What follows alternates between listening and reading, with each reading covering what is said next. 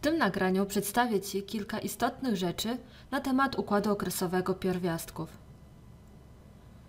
Układ okresowy pierwiastków jest zestawieniem wszystkich pierwiastków chemicznych w postaci rozbudowanej tabeli.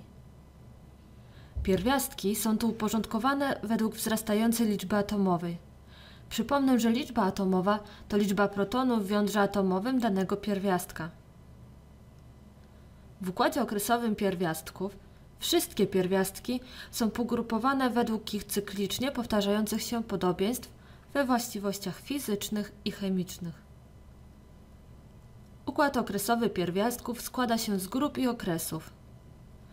Grupy w układzie okresowym pierwiastków są to pionowe kolumny, więc tutaj te wszystkie pierwiastki znajdują się w jednej grupie. Tu mamy do czynienia z pierwszą grupą, tutaj z drugą i tak dalej. W układzie okresowym pierwiastków jest 18 grup. Poza grupami wyróżniamy również okresy. Okresy są to poziome wiersze w układzie okresowym pierwiastków. W okresie pierwszym znajduje się wodór i hel. Okres drugi zaczyna się od litu, a kończy na neonie. Ogólnie w układzie okresowym pierwiastków mamy do czynienia z siedmioma okresami. Pierwiastki znajdujące się w układzie okresowym pierwiastków możemy podzielić na metale i niemetale. Metale to takie pierwiastki, które w związkach chemicznych zawsze oddają swoje elektrony do utworzenia wiązania i zwykle w związkach chemicznych występują w postaci kationów. Natomiast niemetale to pierwiastki, które w związkach chemicznych mogą zarówno oddawać, jak i przyjmować elektrony. Istnieją pewne pierwiastki, które w zależności od środowiska, w jakim się znajdują, mogą zachowywać się jak typowe metale, albo też jak niemetale. Takie pierwiastki nazywa się pierwiastkami amfoterycznymi. Pierwiastki amfoteryczne w obecności mocnych kwasów zachowują się jak metale. Natomiast w obecności mocnych zasad zachowują się jak niemetale. O tym, czym są mocne kwasy i zasady, dowiesz się z jednego z kolejnych nagrań. Metale mają kilka cech wspólnych.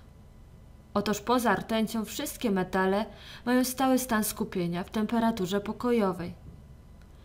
Poza kilkoma wyjątkami, takimi jak na przykład miedź, metale odznaczają się metalicznym połyskiem i srebrzysto-szarą barwą. Co więcej, są one kowalne, przewodzą prąd elektryczny i ciepło. Pierwiastki znajdujące się w tej samej grupie układu okresowego pierwiastków odznaczają się zbliżonymi właściwościami chemicznymi i fizycznymi. I tak na przykład metale znajdujące się w pierwszej grupie oznaczają się dużą reaktywnością, więc nie spotkamy ich w przyrodzie w postaci czystej. Prędzej możemy napotkać sole tych metali. Pierwszym pierwiastkiem znajdującym się w pierwszej grupie układu okresowego pierwiastków jest wodór. Jest on wyjątkiem tej grupy, ponieważ jako jedyny jest niemetalem. W przeciwieństwie do właściwości metali, ciężej jest mówić o cechach wspólnych w przypadku niemetali. Mogą występować one we wszystkich stanach skupienia. I tak na przykład w jednej grupie układu okresowego pierwiastków, dokładnie w grupie 17, możemy spotkać pierwiastki o wszystkich trzech stanach skupienia. Chlor występuje w gazowym stanie skupienia. Brom występuje w ciekłym stanie skupienia. Jest to ciemnobrunatna ciecz. A jod występuje w stałym stanie skupienia. Niemetale mają różne barwy. Na przykład siarka jest żółta, chlor zielony, a jod fioletowo-różowy.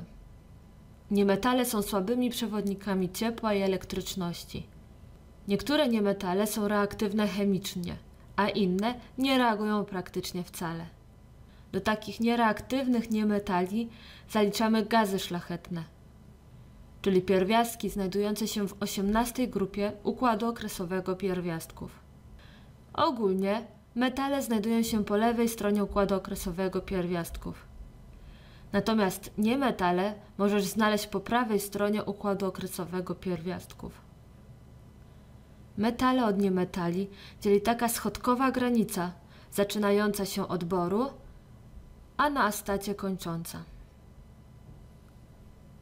W kolejnym nagraniu będziemy mówić więcej na temat chemicznych właściwości metali i niemetali.